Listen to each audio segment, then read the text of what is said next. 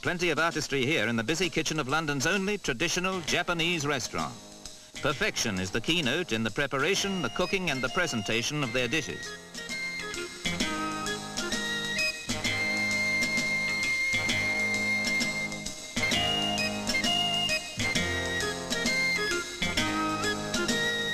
Presentation. It's something many people have forgotten in these days of go-faster cookery. All too often, today's food creed is junk it all on the plate and hope for the best. Here, they employ forgotten subtleties to revive eating mystique and finesse. A showpiece for the hors d'oeuvre dish, for instance, clusters of flowers are fashioned from carrots, radishes and spring onion stalks.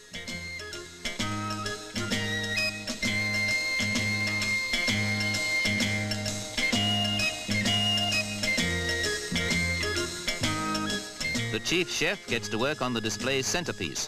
Who could dispute the sculptural abilities of Kusama Toshio, even though he carves from a slab of sweet potato?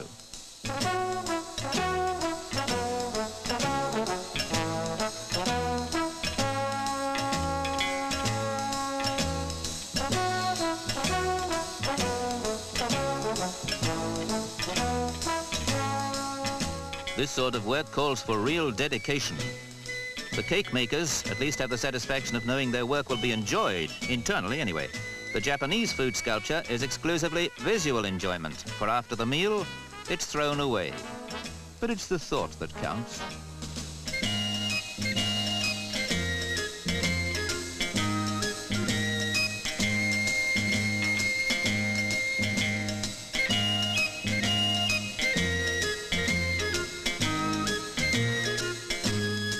It's not only the customers at the Japanese restaurant who get the bird.